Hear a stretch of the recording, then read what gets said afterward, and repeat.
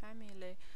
Like I would want her to spell out the immediate family because that means official officially things are different.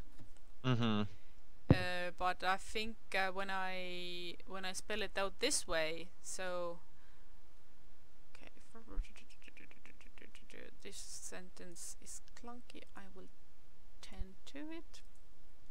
But so when he's when he asks another Harper Henning offspring, you don't mean?